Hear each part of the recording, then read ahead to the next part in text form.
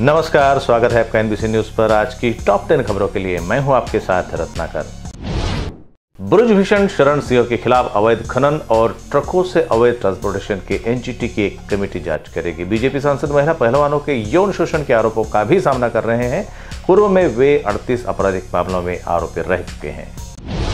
उत्तर प्रदेश के वाराणसी स्थित ज्ञानवापी मस्जिद का भारतीय पुरातत्व सर्वेक्षण, यानी एएसआई सर्वे होगा। इलाहाबाद हाई कोर्ट ने इसकी इजाज़त दे दी है। अब ऐसे में सवाल ये उठ रहा है कि देश में ऐसी कई और मस्जिदें हैं जहाँ पर सर्वे की डिमांड की जा रही है। क्या वहाँ पर भी ये सर्वे किया जाएगा?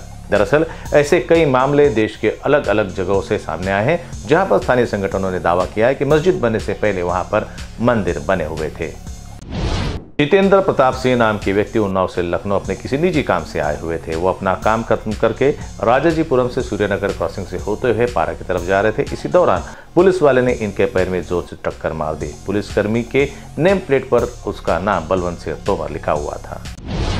आई फ्लू के केस तेज़ी से बढ़ रहे हैं, बच्चे, बुज़ुर्ग सभी इसका शिकार हो रहे हैं।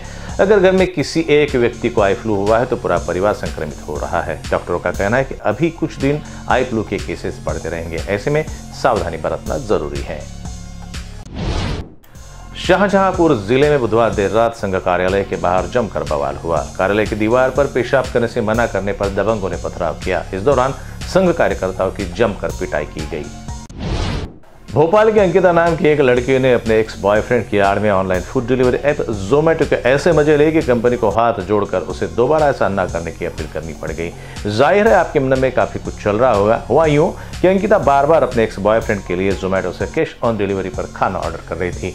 वही लड़का हर बार पेमेंट करने से मना कर देता था। ऐसे में तंग आकर जोमेटो ने जो ट्वीट किया उसे पढ़कर हर कोई अचंभे में है और मज़े ले रहा है। हरियाणा के नू हिंसा में पंजाब की एक गाड़ी की पहचान की गई है। हरियाणा पुलिस ने बताया कि वेन्यू कार से दंगाइयों को लीड किया जा रहा था। गुरुग्राम तक फैल चुकी सांप्रदायिक हिंसा की पुलिस टीम जाँच कर रही है।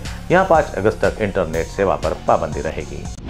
टेस्ला की भारतीय सहायक कंपनी ने पंचशील बिज़नेस पार्क में बीविंग की पहली मंजिल पर 5,580 वर्ग फीट का ऑफ़िस स्पेस के लिए Table Space Technologies Private Limited के साथ पाँच साल का लीज डील किया है।